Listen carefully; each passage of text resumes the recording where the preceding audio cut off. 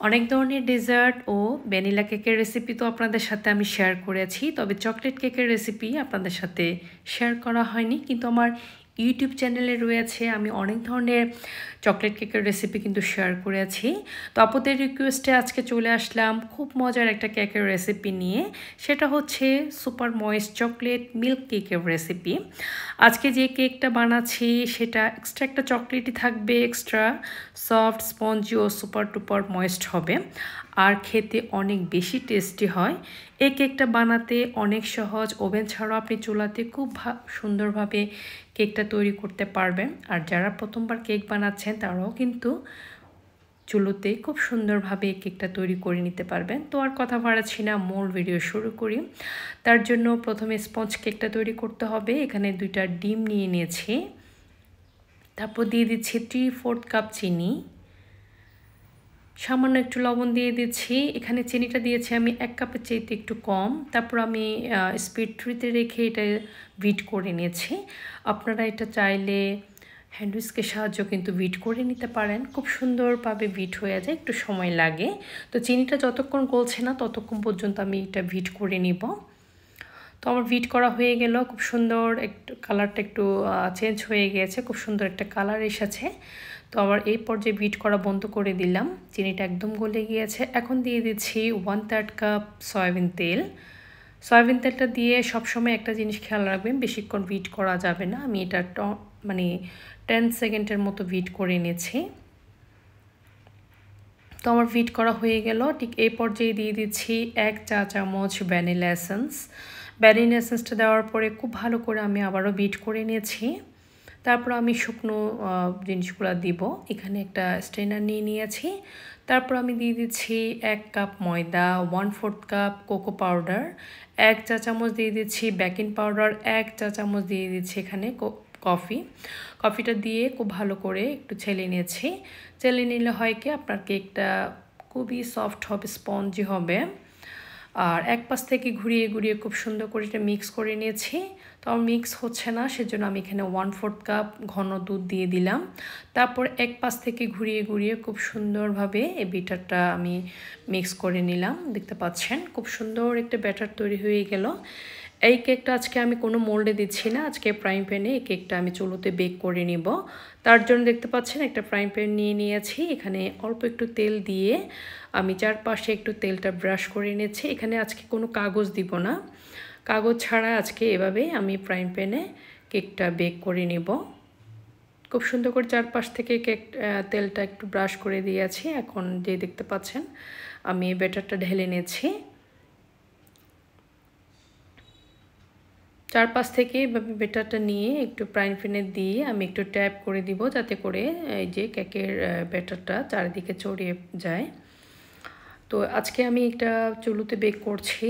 যারা প্রথমবার কেক বানাচ্ছেন, তারাও কিন্তু খুব সহজে কেকটা বানিয়ে নিতে পারবেন। তো আমি ঢাকনাটা দিয়ে ঢাকনা যে ছিদ্রটা থাকে, ওইটা একটু টিস্যু দিয়ে একটু আটকে দিয়েছি। এখন আমি দেখতে পাচ্ছেন একদম মিডিয়াম সরি লো হিটে একটা প্যান বসিয়ে দিলাম। একটু গরম করার পরে মানে ফ্রি হিট করার পরে আমি এই যে মোলটা বসিয়ে দিয়েছি। তবে আমি যারা প্রথমবার বানাচ্ছেন, তাদের জন্য এটা দেখিয়ে দিলাম। আমি এভাবেই কিন্তু সরাসরি এটা চুলোর উপর বসিয়ে দিয়েছি। ত্রিশ মিনিট, তিরিশ মিনিট বা চল্লিশ মিনিট সময় লাগতে পারে। আপনি যখন ওভেনে করবেন, এটা একশো আশি ডিগ্রি সেলসিয়াস তাপমাত্রায় কিন্তু ত্রিশ থেকে চল্লিশ মিনিটের মধ্যে কেকটা বেক হয়ে যাবে। দেখতে পাচ্ছেন আমার কেকটা খুব সুন্দরভাবে বেক হয়ে গেল। টিথপিকটা একদমই ক্লিয়ার এসেছে। তো এরপর যে আমি কেকটা নামিয়ে নিয়েছি। আর চকলেট, এই যে কেকটা বানিয়েছে এটাকে সুপার চকলেটি, সুপার ময়েস্ট করার জন্য আমি একটা মিল্ক চকলেট মিল্ক বানাবো আর কি, তার জন্য এখানে কিছু চকলেট নিয়ে নিয়েছি। আর এই যে একটা প্যান নিয়ে নিলাম, এখানে দিয়ে দিয়েছি এক কাপ ঘন দুধ। এই দুধটা আমি জাল দিয়ে ঘন করে নিয়েছি। তারপর দিয়ে দিচ্ছি এখানে চিনি। চিনিটা আমি এখানে দুই টেবিল চামচ দিয়ে দিচ্ছি। তারপর দিয়ে দিব কোকো পাউডার কোকো পাউডার দিয়ে দিচ্ছি প্রায় এখানে দুই টেবিল চামচ। তারপর দিয়ে দিচ্ছি ওয়ান ফোর চা চামচ কফি কফিটা দিয়ে খুব ভালো করে আমি এটা মিক্স করে নিব। এই চকলেট মিল্কে চকলেট মিল্কের মধ্যে আর কি যে দুধটা বানাচ্ছি এখন আমি, তো ওইটার মধ্যে আমি আবার কিন্তু চকলেট যে অর্ধেকটা নিয়েছিলাম, ওইটাও দিয়ে দিয়েছি। তো এটা তিন থেকে চার মিনিট এভাবে জাল দিলে কিন্তু খুব সুন্দর চকলেট মিল্ক তৈরি হয়ে যাবে। খুবই মজার এই চকলেট মিল্ক যখন আপনি দিবেন খুবই সুপার সফট হয়ে যাবে কেকটা। দেখতে পাচ্ছেন আমি এই যে চকলেট মিল্কটা বানিয়ে নিয়েছি।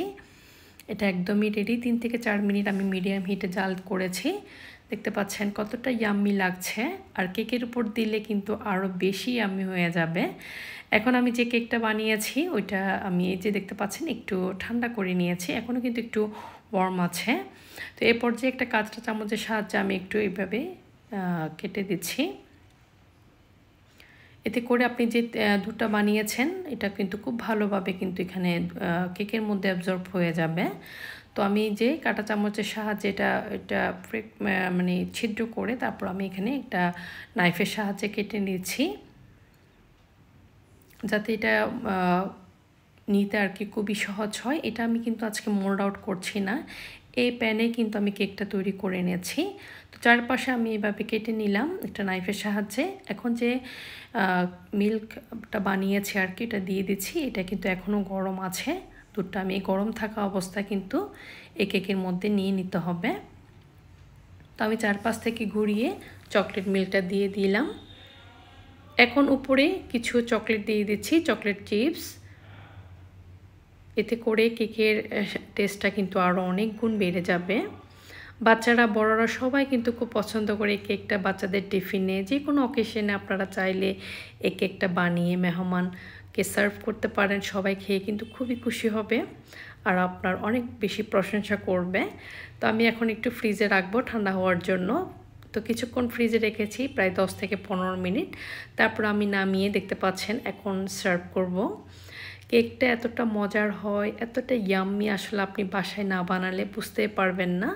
যে কোনো অকেশনে বার্থডে যে কোনো কিছুতে অ্যানিভার্সারি বলেন সব কিছুতে কিন্তু এই কেকটা বানিয়ে নিতে পারেন। খুব সহজে। আমি এখন একটা প্লেটে নিয়ে নিয়েছি। প্লেটে নিয়ে আমি এখন আপনাদের দেখাবো কতটা সফট হয়ে আছে কেকটা, কত স্পঞ্জি দেখতে পাচ্ছেন। আমি এখন খেয়ে নিয়েছি। বাচ্চাদের দেওয়ার আগে আমি একটু খেয়ে দেখি সব সময়।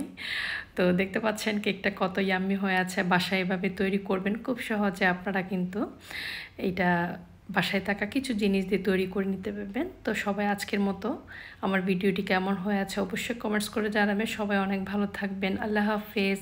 আসসালামু আলাইকুম।